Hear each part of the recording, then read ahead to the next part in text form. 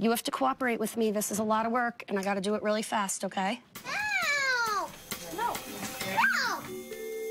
Well, Devin's hip hop routine is a cheetah routine where I'm going to be full body painting her. Typical, you've got um, two to five hours to do a full body painting. Here, we're doing it in a fraction of that time on a wiggly five year old. Stop. Stop. Stay still. So it adds that little bit of extra pressure. Can you stop wiggling? Chin up. You, Devin, you got to stay still.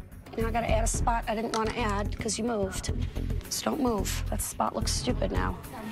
I'm gonna do my cheetah routine. My mom's a little bit nervous. Kevin, find out how much time I have. Just hurry up. I'm trying to. She definitely looks like a bit of an Oompa Loompa now. Now let's get ready for the next contestant, number 58, Devin.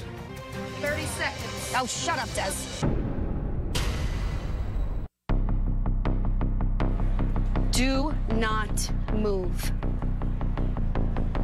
Now let's get ready for the next contestant, number 58, Devin.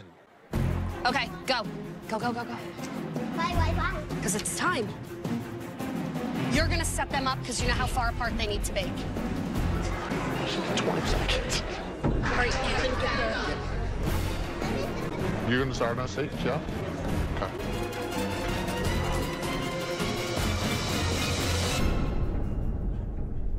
Ladies and gentlemen, contestant number 58, Devin.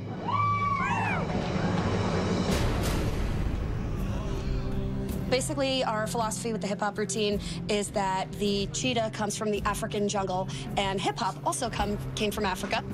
So it's sort of the storytelling of the transition coming from Africa into the concrete jungle. It's a little more creative, a little more outside the box, and I think the judges always like that. Thank you.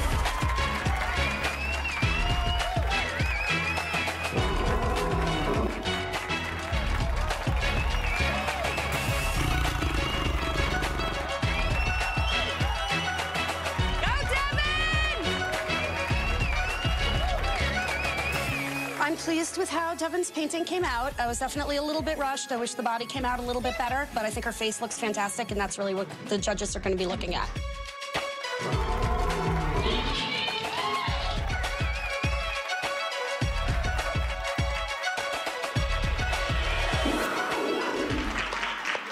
Devin's hip hop routine was over the top. I didn't tie it to any hip hop person or song, which I thought, okay, if that's what they want to do. But they get my attention. High five.